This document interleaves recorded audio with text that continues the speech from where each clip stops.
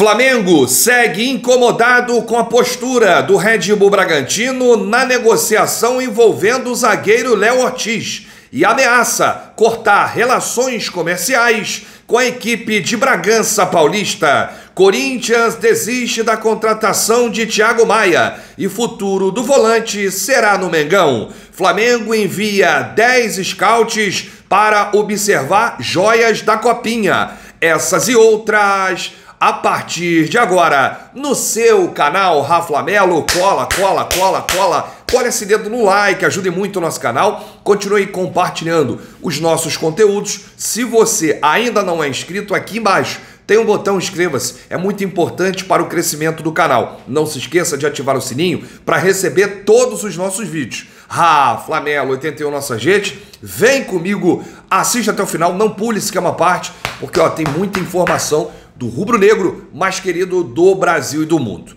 Eu não poderia começar esse vídeo diferente. Hoje, dia 6 de janeiro, o mundo amanheceu mais triste.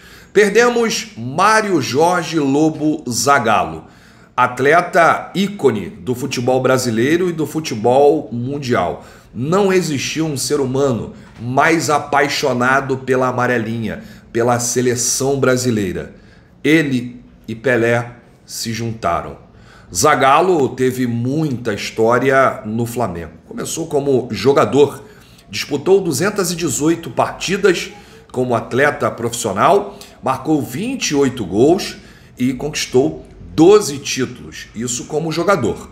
Como treinador, foram 284 partidas, 8 conquistas tetra campeão mundial com a seleção brasileira, 58, 62 e 70 como treinador e 94 como coordenador técnico.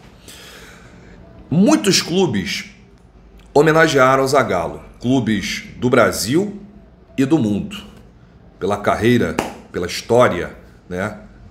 pela vida, pelo exemplo.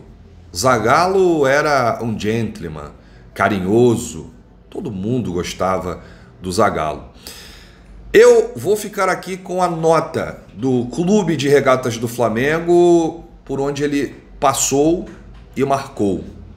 O Flamengo começou assim: Zagallo Eterno, tem 13 letras. Nos deixou um herói que moldou a história do futebol brasileiro. Mário Jorge Lobo Zagallo entra para a eternidade como um revolucionário, um pilar histórico do esporte. Zagallo vestiu o manto, fez parte do timaço que conquistou o tri estadual 53, 54, 55. Ainda como jogador do Flamengo, foi convocado para a Copa do Mundo de 58 e entrou para a história como um dos principais nomes da seleção brasileira que ganhou o primeiro título mundial. O velho Lobo voltou à história do mais querido no comando técnico em 72 e em 2001, quando vencemos a Copa dos Campeões e quem não lembra da vibração dele com aquele colete né, do manto sagrado por cima no gol do Pet aos 43 do segundo tempo. Rapaz, eu era muito novinho, muito fã do Zagallo. Ah, como treinador, como jogador, não consegui acompanhar, né? Porque eu não era nem nascido quando ele jogou no Flamengo, mas acompanhei em 2001, né? Naquele título contra o Vasco no gol de falta, o Zagallo, o Zagallo comemorando muito, e as frases históricas, né? Vocês vão ter que me engolir. É, e a, a coisa com o número 13, né? Enfim, Zagallo, um verdadeiro e eterno vencedor, para sempre em nossos corações. Obrigado por tudo e descanse em paz, velho lobo. É. As pessoas boas estão indo, né, gente? Já começamos 2024 sem o Zagallo e sem o Denir, seu Denir. E a importância do Zagallo para o futebol. Zagallo, que ao lado do Pelé, foram os dois maiores brasileiros do futebol, na minha humilde opinião. E teve muita história no Mengão. Nossos sentimentos aos familiares, amigos, descanse em paz velho lobo. Bom, a gente segue por aqui. Vamos falar agora do jogo da Copinha. Ontem, Flamengo estreou com o pé direito, venceu por 2 a 1 São José do Rio Grande do Sul, lá em Osasco, Gols de Peterson e Verton. Ah, e que golaço do Verton, né? Um toquinho por cima. O Flamengo chegou a sofrer um gol da equipe gaúcha, mas o que importa é a vitória. O Flamengo agora lidera o grupo 19. Boa molecada! Parabéns aí para a molecada, para os garotos do Ninho. E uma informação sobre a Copa São Paulo de Futebol Júnior, mais precisamente o Flamengo, o clube enviou 10 scouts para acompanhar os jogos em loco e outros quatro monitoram todos os jogos da Copinha pela TV. O Flamengo quer aí garimpar os garotos em busca de novas joias. Lembrando que da Copinha chegaram Mateuzinho, Rodrigo Muniz e o próprio atacante João Vitor, né? Que foi destaque no Zumbi uh, de Alagoas na Copinha de 2023 e está hoje aí no elenco do, do Flamengo. Bom, torcer para que a gente consiga ah, bons reforços, boas contratações aí para a base que é o futuro de cada clube. Falando agora de mercado da bola, o Corinthians desistiu da contratação do volante Thiago Maia. O clube paulista já tinha acertado salário tempo de contrato, seria contrato até 2027, mas os clubes não chegaram a acordo sobre o modelo de negócio, né? É, o Flamengo exigiu garantias do Corinthians nessa aquisição, porque o Flamengo não queria emprestar o Thiago Maia ao Corinthians, queria apenas vendê-lo. E aí, quando pediu garantias, como é que vai ser o pagamento, aí o Corinthians deu para trás, travou, jogou a toalha, assim como fez com o Gabigol. O Flamengo agora conta com o Thiago Maia para essa temporada, né? Futuro decidido, tudo resolvido.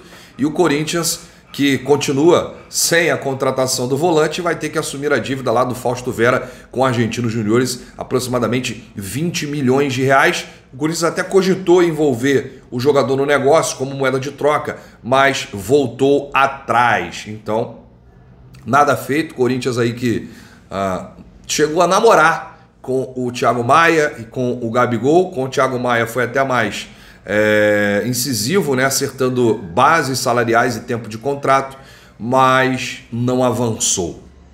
Bom, a gente, para terminar aqui, uma informação que saiu hoje. Tá fresquinha, saiu agora no GE Globoesporte.com. Olha, o negócio está complicado entre Flamengo e Red Bull Bragantino.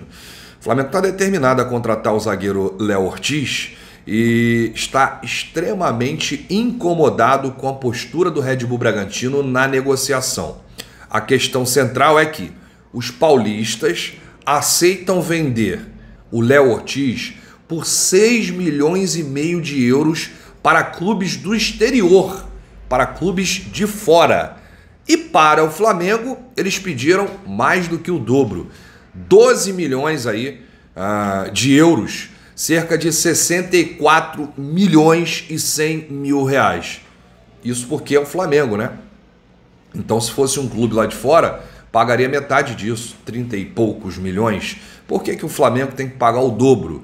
Bom, por entender que estabeleceram uma relação comercial de sucesso nos últimos anos, com transferências que trouxeram retorno financeiro e esportivo para as duas partes, o Flamengo está irritado com o tratamento de rival do Bragantino, enquanto há poucos meses era visto como um parceiro.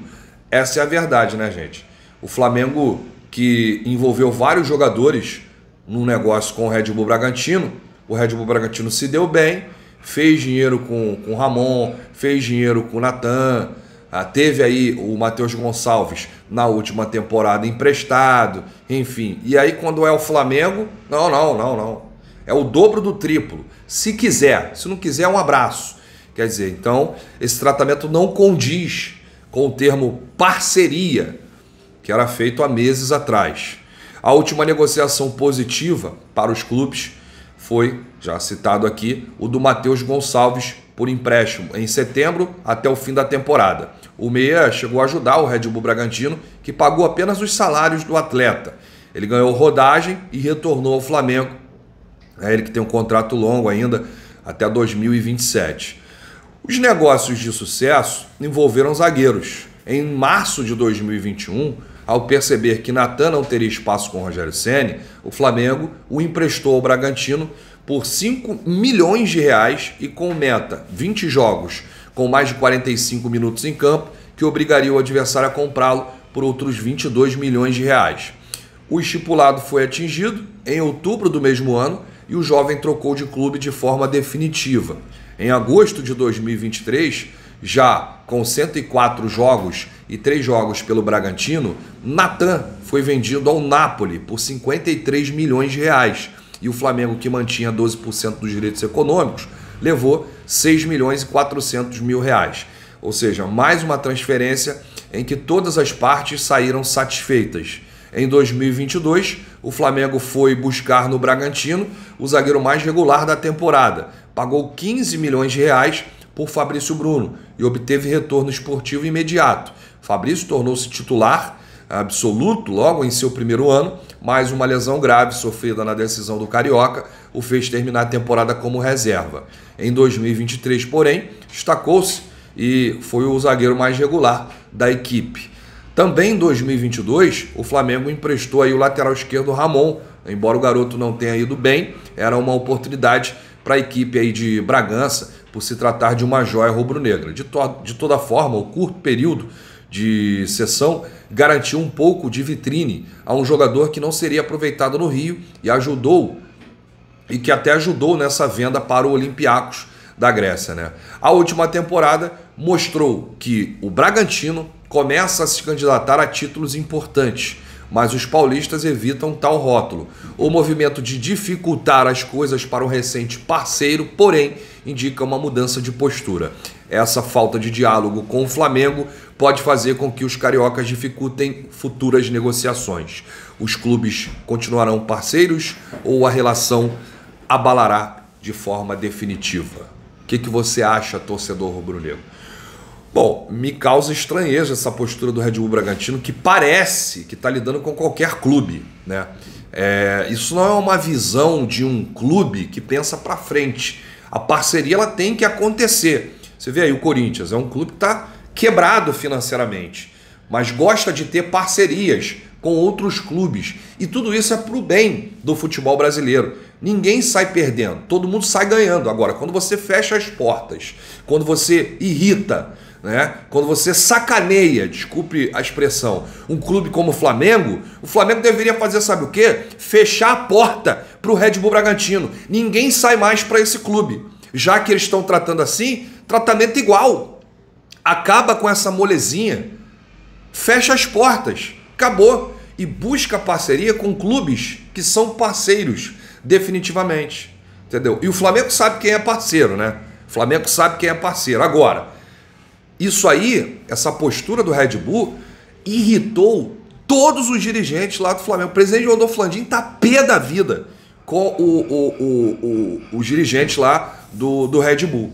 Flamengo e empresário de Léo Ortiz vão continuar tentando forçar a saída. O jogador quer o Flamengo, já acertou salários e ninguém está entendendo nada. Se o valor dele para a Europa é um valor X, como é que pode um valor aqui para o Brasil, para um clube que até então era parceiro, que deu resultado dentro e fora de campo, ajudou o Red Bull Bragantino a fazer dinheiro também com algumas vendas, como é que você vai cobrar o dobro, o triplo para o Flamengo? Isso não existe, gente. Isso não existe. Essa é a irritação do Flamengo nessa questão aí envolvendo o Léo Ortiz. O Léo Ortiz, o valor do Léo Ortiz para clubes lá de fora é 6 milhões e meio de euros. Para o Flamengo é 12. Então tá explicado aí essa irritação do Flamengo. Um absurdo, um absurdo. Isso aí é para o Flamengo aprender. Não dá para confiar também 100% não. Não dá para confiar 100%. Bom, é isso, gente. Eu volto a qualquer momento. Fico chateado com essas coisas, né? Fico chateado com essas coisas. Agora o Red Bull Bragantino vê o Flamengo como um rival. É, é essa é a questão. Estão vendo o Flamengo como se fosse até um, um paulista, né? A rivalidade e tal não, não deveria ser assim, essa é a verdade. Bom, desculpa aí o, o, o desabafo, torcedor também não aguenta mais algumas situações e os dirigentes estão encontrando dificuldades nessas questões O Flamengo que priorizou o Léo Ortiz por um pedido do Tite. O Tite também está chateado com essa história, com a postura do Red Bull Bragantino e ninguém está entendendo nada. Bom, o Flamengo está ameaçando aí romper ah, relações comerciais com essa equipe lá de Bragança Paulista. Eu volto a qualquer momento, hein, gente, com novidades do rubro-negro mais querido do Brasil e do mundo. Se você chegou até aqui, dá aquela moral, o like é muito importante para os nossos vídeos. A sua inscrição é muito importante para o crescimento do canal. Ah, já ia esquecendo. Vou deixar aqui no link, no comentário fixado e na descrição, o link do nosso canal no WhatsApp para você fazer parte e receber informações 24 horas. É muito importante você entrar no nosso canal no WhatsApp. Grande abraço, saudações rubro-negras. Bate, bate, bate no peito e diz: Isso aqui é Flamengo. Valeu!